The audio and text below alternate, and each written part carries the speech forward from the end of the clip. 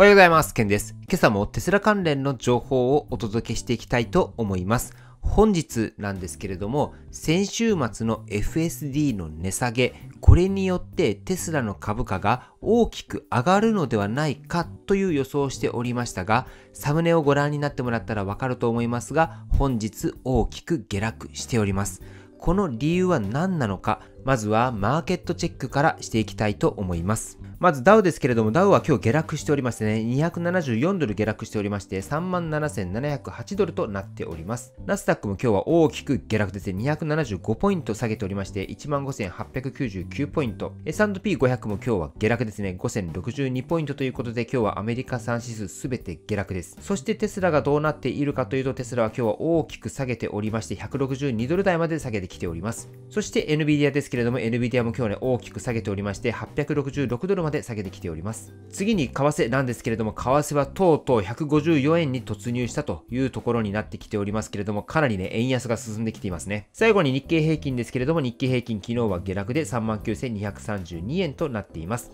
はい。ということで、テスラ株今日は大きく下げておりまして、今現在162ドル台を推中というところまで下げてきています。では本日はなぜ株価が下がったのか、テスラ株が暴落した理由について解説をしていきたいと思います。本日も最後までご覧になってください。本日の株価下落の理由ですが、つい先ほど日本時間の4月16日の2時頃にロイターの方が記事を上げてきました。この記事が詳しく株価下落の原因について書いていたので、この記事をベースに解説をしていきたいと思います。本日テスラの株価が大きく下がった原因としては4つあります。では、一つ一つ見ていきたいと思います。まず最初に従業員の大規模解雇になります。この大規模解雇なんですけれども、昨日の日本時間の夕方頃、解雇されるんじゃないかっていう噂が結構飛び交っていたんですよね。で、この噂が現実のものとなりました。内容なんですけれども、テスラは従業員の10%以上を削減するという社内メモにより明らかになりました。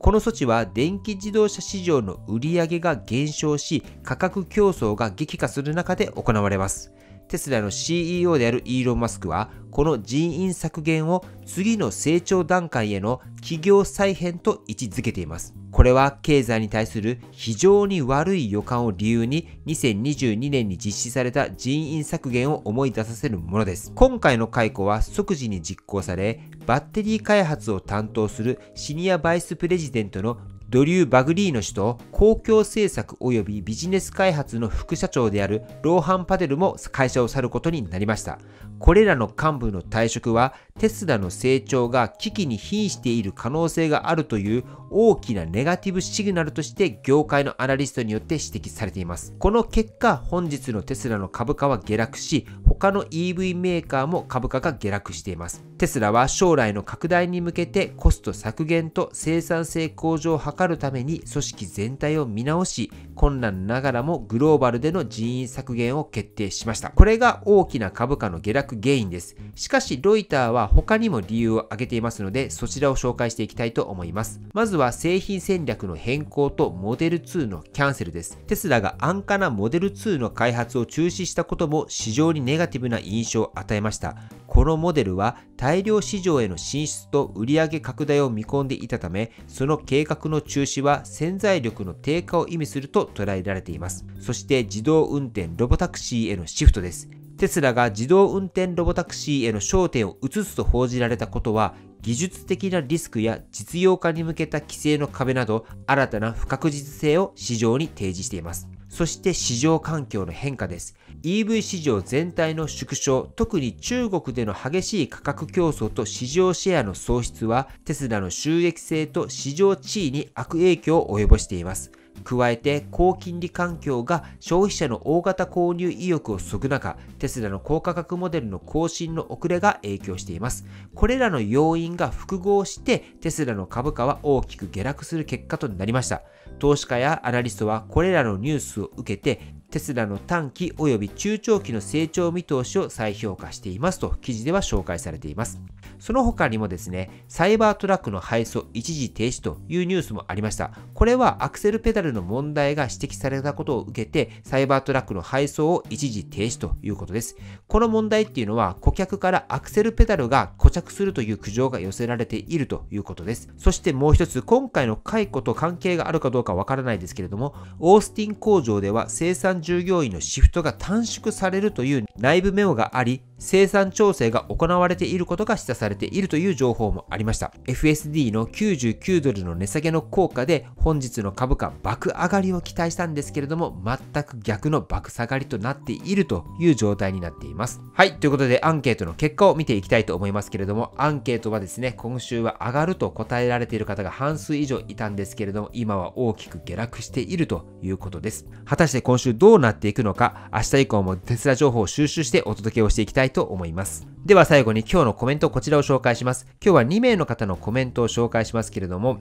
まずはですね、ソーキングウェットダックスフンドさんのコメントなんですけれども、大きく上がるでお願いします。月単位での FST はかなり強いと思います。無料期間で試す、値下げ、購入しやすくなる、逆に買わない理由がないかと思いましたというコメントで、本当本日はこの FST の効果でテスラ株が大きく上がると思ったんですよね。一方なんですけれども、次はキャンパニーラノースさんですかね。ちょっと読み方間違えてたら申しし訳ありません。のコメントなんですけれども、えっ、ー、と、地政学リスクの影響が大きいと思われるので、来週は下がるでお願いしますということで、今週はですね、地政学リスクの影響ということで、テスラ株が下がるんじゃないかっていうコメントは割と多くいただいております。本日ダウなどが大きく下げていますけれども、先ほどね、少しだけ調べたんですけれども、やはり地政学的リスクっていう影響もあるようです。まあ、そういった理由でダウとかも下がっているということもあったので、それに引っ張られてテスラの株価がね、一層下がっているっていう可能性もあるとは思いますけれども、まさかまさかの人員削減によってテスラ株が下がるということは全くもって想像していなかったので、僕を含め皆さん驚きの朝になってくるんじゃないかなと思います。ますしかしなんですけれども、テスラっていうのは本当に何が起きるかがわからないっていうのが一つありますよね。今日は悪いニュースが出たのでテスラは大きく下げたんですけれども、もしかしたらまた今週の残りで予想もしていないニュースがあってテスラ株が上がるっていう可能性もね、ゼロではないと思いますので、引き続き情報は追っていきたいなと思います。はい、昨日もですね、コメントいただいております。ありがとうございます。またぜひ今日の内容に関してもコメントの方よろしくお願いいたします。はい、このような感じで僕のこの YouTube では、テスラや EV に関する海外情報をメインに取り扱っています。テスラ EV に興味がある方はチャンネル登録をお願いします。毎朝僕の方が海外情報をチェックして、この情報は知っておいた方がいいなという情報を厳選してお届けしています。僕の YouTube をご覧になってもらえば、テスラ情報はほとんどカバーできると思います。そしてご自身で海外情報を収集する手間も省けると思いますので、ぜひ僕の YouTube のチャンネル登録の方をよろしくお願いいたします。そして今回の動画の内容が参考になったと思われたら、高評価並びに SNS でのシェアなどもよろしくお願い願いいたします。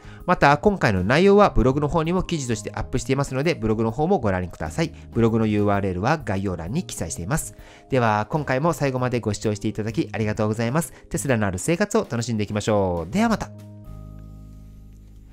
推進です。今は、こちらの AI と EV の融合で起きる巨大革命。こちらは無料動画なんですけれども、この無料動画を紹介しています。この無料動画をご覧になってもらうと、これから先、交通がどういう風にシフトしていくのかっていうのが、なんとなくわかるんじゃないかなと思います。ぜひこちらの動画、非常にね、参考になると思いますので、こちらの動画をご覧になられてみてください。詳しくは概要欄に記載しております。はい。ということで今日はまさかのテスラ株大幅下落になっているとは、まあ昨日の夕方の時点で人員削減っていう情報は出ていたんですよね。でもその時はあくまで噂程度でもしかしたらっていうことだったんですけれども、実際にそれが決定ということで今日はテスラ株が大きく下落ですね。さらに僕の中ではやっぱり幹部2人が退職するっていうのも大きいんじゃないかなと思います。まさか僕の中ではローハン・パテルさんも辞めるっていうのは全くもって想像していませんでした。なぜなら昨日もローハン・パテルさんは X の方でいろいろと投稿しているので、そんな雰囲気全然なかったからですね。もしかしたら昨日急に決定という風になったのかどうか、それまでちょっとよくわからないですけれども、まさかまさかのローハン・パテルさんまで退職ということで、来週第一四半期の決算発表もありますけれども、ちょっとこれからテスラ株どうなっていくのか、本当なんか FSD の値下げっていうのが一気に消えてしまったなという印象ではありますけれども、引き続きテスラ情報を追って YouTube 並びに X で情報発信をしていきたいなと思います。最近 X の方でも情報発信ね、結構頑張っているので、ぜひ X の方でもね、フォローしてもらえればと思います。はい。ではですね、今日も最後までご視聴していただきありがとうございました。素敵な一日をお過ごしになってください。ではまた。